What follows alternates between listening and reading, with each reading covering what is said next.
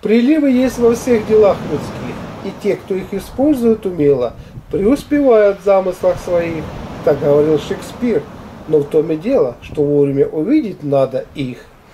И вот мы с вами поговорим, как увидеть эти знаки, чтобы преуспеть в жизни. 13 октября, День Григория, назван в честь преподобного отца нашего Григория, игумена, обители на Пельшме-реке Вологодского чудотворца. Познав суету мира, он отверг ее и покинул родительский дом. Пришел в Желтоводский монастырь к преподобному игумену Макарию, принял от него пострижение. В монастыре поучался подвигам иноческой жизни. Особенно он преуспел в постничестве. За строгую, добродетельную жизнь Григорий принял на себя сан священства. Сегодня наши предки готовили постельные принадлежности на зиму. Старую солому, которой были набиты подушки и матрасы, сжигали, а новые набивали. В преддверии праздника Покрова наводили порядок в доме, выбрасывали мусор, застилали крыльцо и дом свежей соломой. Вообще сегодняшний день связан с соломой. Наши предки считали, что солома вбирает в себя силу земли. Простые люди рождались на соломе и на ней же умирали. В быту широко ее использовали, набивали постельные принадлежности, использовали для изготовления занавесей для окон, и, конечно же, кормили соломой скотину. Сегодня молились Григорию и просили, чтобы замена соломы в доме пошла во благо. Знатоки по старой соломе судили о состоянии здоровья человека, который на ней спал. Внешний вид и состояние соломы рассказывали о недугах, которые только начинались, не говоря уже о болезнях. А старухи в это время еще сжигали свои лапти. Была распространена традиция обливать детей через решето водой. Для этого их ставили на порог дома и обливали. Считалось, что такая процедура поможет защититься от болезни с глаза и порчи. В результате чего ребенок будет жить в достатке. Порог дома, квартиры считается границей между домом и другой, то есть потусторонней землей. А решето символизирует достаток. Для излечения с глаза у детей следует на заре сходить к трем ключам и набрать воды. Дома слить воду вместе и этой водой умыть ребенка трижды. При этом читая молитву или заговор. Идти за водой и обратно надо молча, не кланяясь, не отвечая на приветствие и не оглядываясь. Приметы. Если сегодня выпал снег, то в ближайшие дни наступит потепление. Если на липе и березы не осталось листьев, год будет легким. Если листья еще видны, зима будет суровая. Снег лежит сухой, лето будет урожайным. У нас сегодня в гостях специалист по питанию китайскому питанию, по питанию не простому китайскому, а по пяти первоэлементам Наталья Ивина. И вот она как раз расскажет и покажет э, блюдо, с помощью которого можно укреплять желудок, селезенку и поджелудочную железу, которые у многих страдают. Так обратимся, что это такое за это питание вообще? Как вы к нему пришли? Здравствуйте, уважаемые телезрители. А, сама лично я пришла к этому питанию пять лет назад, впервые обратившись э, к такому специалисту. У меня был ряд проблем со здоровьем. Одна из основных э, — сильная усталость, недостаток энергии, апатия — и через некоторое время, буквально через 3-4 недели после того, как я начала, как я изменила питание, а именно исключила ряд определенных продуктов из рациона, а ряд продуктов определенных я добавила, после этого я где-то через ну, 3-4 недели почувствовала результат. И спустя год... А как результат? В чем он начал выражаться? Ну, я стала себя лучше чувствовать. Увидела прилив энергии, появился румянец на щеках. Угу. А, захотелось действовать, быть более активной.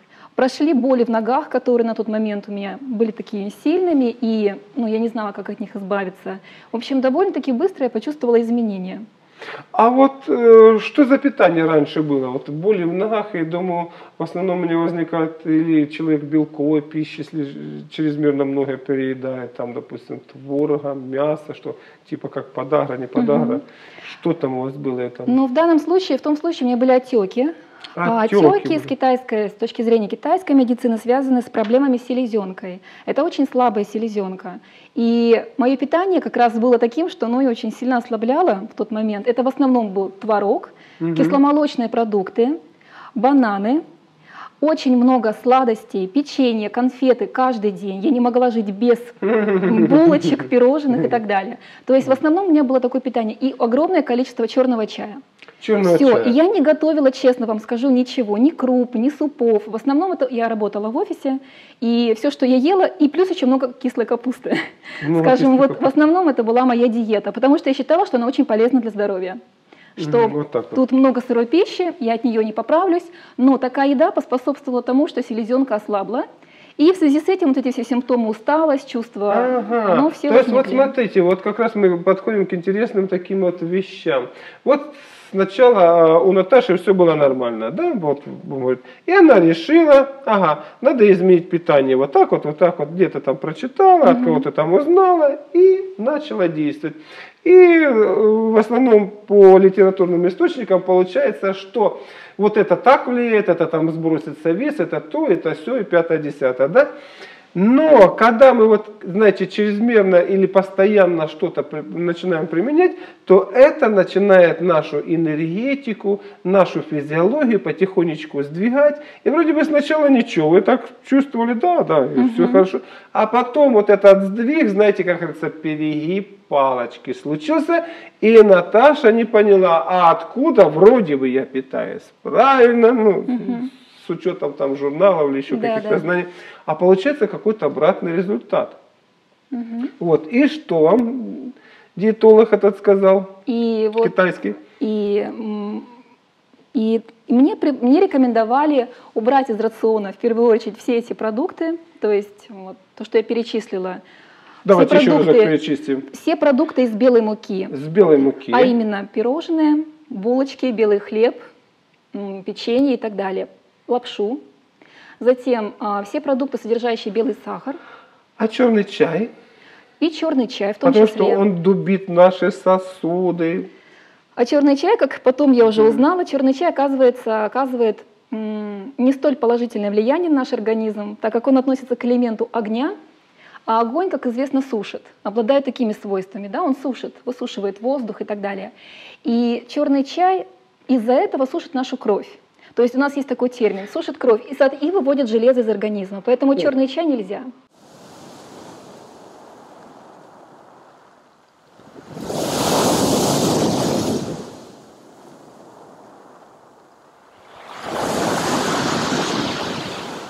Пятнадцатые лунные сутки.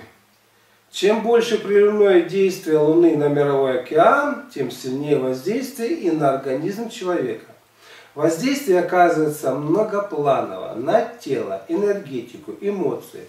Так в эмоциональном плане, помимо желания человека, активизируются разного рода плотские наслаждения. И человек бессознательно тянет во что бы то ни стало удовлетворить их. В это время важно сохранять самоконтроль и самодисциплину иметь понятие, что это влияние приливного действия Луны, а не собственная потребность. Питание шире используйте плотную горячую пищу с вяжущим вкусом из бобов, гороха. А жидкую холодную пищу лучше избегайте. Ввиду повышенной циркуляции жидкостей в организме откажитесь от любых хирургических вмешательств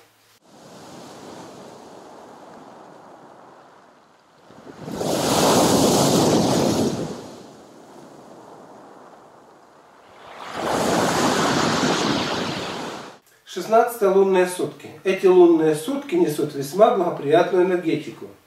Ее действие больше оказывается на душевное качество, чем на телесное. Рекомендуется погрузиться в эти ощущения и не делать ничего, что их стирает.